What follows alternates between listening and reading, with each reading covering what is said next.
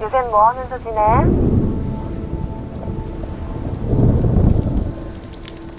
여긴 정말 평화로워.